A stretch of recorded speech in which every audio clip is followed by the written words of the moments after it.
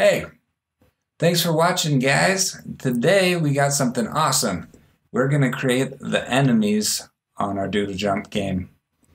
And so we're going to put a little bit of scripts on these enemies so that they move.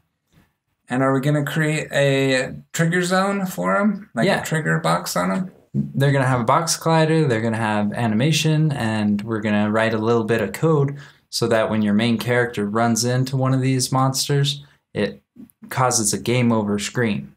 We're now going to show you how to code the monster for our Doodle Jump game. The first thing that we'll need to do is create a game object. So we'll go to the top and click on Game Object, Create Empty. Then we'll need to make sure that it's centering our scene. So 0, 0, and for the Z we're going to type negative 0.5.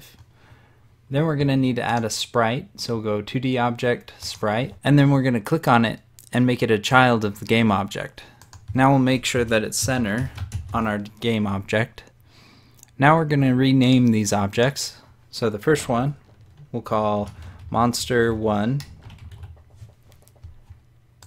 and the sprite we'll call monster sprite.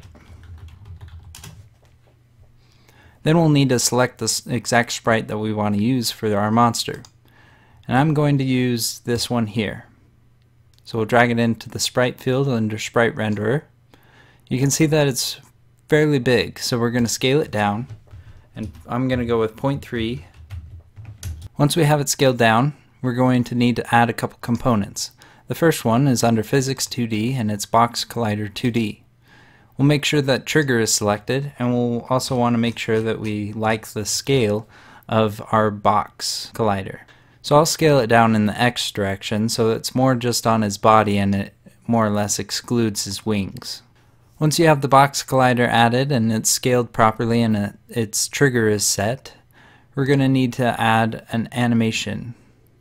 So under miscellaneous, we're going to click on animation. Then we'll go ahead and open up the animation window.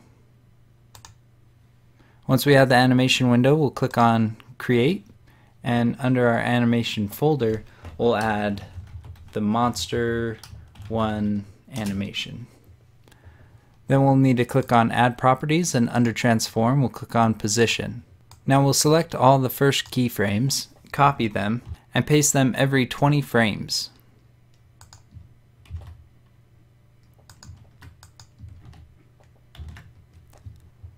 Then at the 10 second mark, we'll add another keyframe by changing its Y position by moving it up. Then we'll select those keyframes and paste them every 20 seconds from the 10 second mark. Now we'll finish our animation by clicking the record button. We'll go to our animations folder, select our Monster 1 animation, and make sure that loop is selected. We'll go back to our monster sprite and drag in our Monster 1 animation into the animation field on our animation component. So I'll go ahead and show you how much we have so far with this animation. So you can see that our monster just moves up and down, kind of like he's jumping or hopping. Now to finish this animation, I want to add the script that we used for our moving platforms. So I'll go to our prefab folder, select our moving platform, and then I'll click on this gear sign and hit copy component. Then I'll go back to our monster 1, I'll click on the gear sign and click on paste component as new. Then all we need to do is make sure that we select our monster 1 and drag it into the platform field on our script. Now as I hit play you'll see that our character has the hopping motion but also moves back and forth between the width of the screen.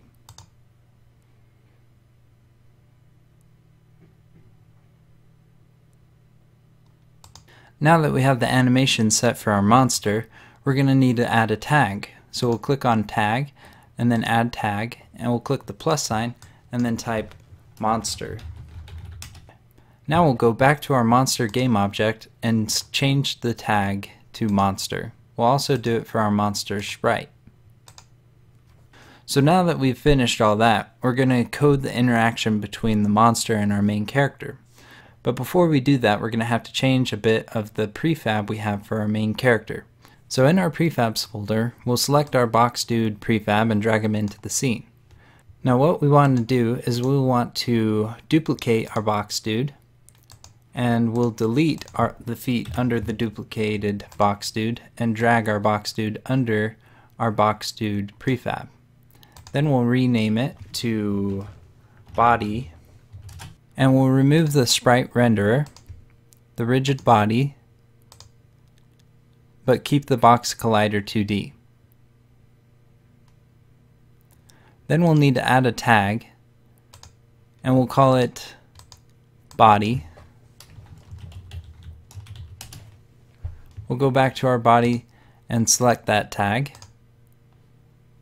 Then we'll make sure that we select our box dude and hit apply. Now that we've modified our box dude prefab, we can go ahead and delete him from the scene. Next, we'll go ahead and create a new script for our main character. So we'll click on C Sharp script and we'll call it body script.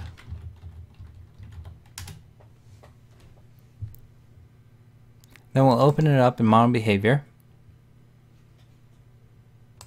The first thing that we'll do is we'll delete our update and our start function. Then we'll need to go to the top. Under using.system collections, we'll type using system semicolon. Now one of the principles that we'll be showing you today in this coding tutorial is relatively difficult, but bear with me and I'll explain it to the best of my ability and show you how it works. And if you're still confused after that, you can always ask us a question in the comments below, and in a future video we'll show you more in depth concerning this topic. But what we'll be creating today is what's called an action. Now an action will broadcast from this current script to other scripts that we create, and then those scripts will receive the broadcast and execute code according to that broadcast. And so the first thing that we'll need to do is create the action. So we'll type public static action in carets, we'll type string close the carets and then give it a name and we'll call it monster hit Then below, we'll need to access the on trigger function. So on trigger enter 2D. Inside, all right, collider 2D, and we'll call it other. And then inside this function, we'll say if other dot tag is equal to then monster because that's what we called our monster with the tag and then inside the if statement we'll say if monster hit does not equal null then we'll call monster hit and the string that we'll be broadcasting will be called dead. Now that's all we need to do for this script, so we'll go ahead and save it. We'll go back to Unity, and we'll need to create a platform script that will be on each platform. So we'll go create 2D script, we'll call it platform. Then we'll open it up in MonoDevelop. Once it's in MonoDevelop, we'll go ahead and delete the update function and then we'll change the start function to on enabled and we'll also create a void on disable function. Now in the on enable function we'll need our platforms to be subscribing or listening to the broadcast from our monster hit action. So to do this we'll need to reference our body script so we'll type body script dot monster hit. Then we'll hit plus sign, equal sign, and then type monster hit again. Then semicolon. And in the on disable function, we'll need to unsubscribe to that broadcast. So we'll copy the same line of code, paste it, and then we'll change this plus sign to a minus sign. Next we need to create a monster hit function, but before we do that we're also going to create a variable. So it'll be uh, public, and the type will be a box collider 2D, and we'll call it platform box. Now we'll create our monster hit function. So we'll go down below, we'll type void, mon and then spell it the same way, monster hit with the same capitals, and then in parentheses, we'll type string because that's what's being broadcast, and then we'll type what was sent. And in the curly braces, we'll say if what was sent is equal to dead, because that's what we were broadcasting if our main character runs into the monster, then inside curly braces, we'll say platform box dot enable equals false. And this will make it so that when our main character runs into a monster, all the platform's box colliders will be turned off, making it that our main character will fall to his death, inevitably giving us the game over death sequence and game over screen. One thing that I forgot is we need to go back to our body script and we are going to reference the main character feet script and we'll call it feet script.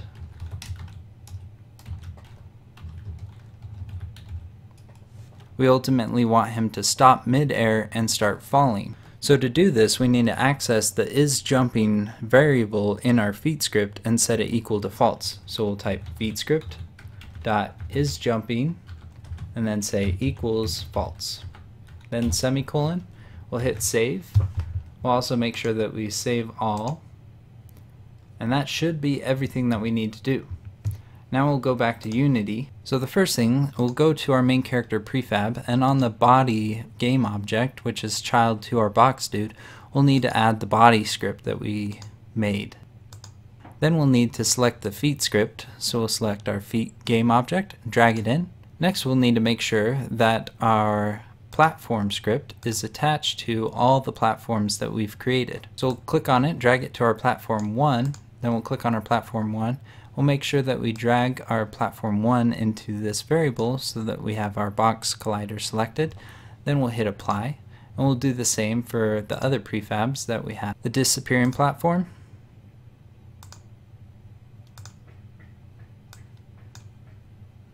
and the moving platform.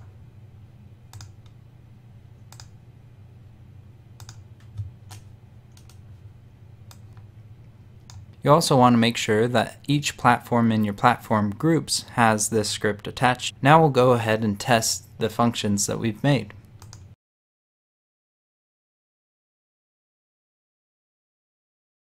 Excellent. So right there you saw that the main character was able to jump on the platform, bounce, and then once he hit the main character, he wasn't able to land on the platform again and thus inevitably causing the game over to be triggered. Let's show you one more time.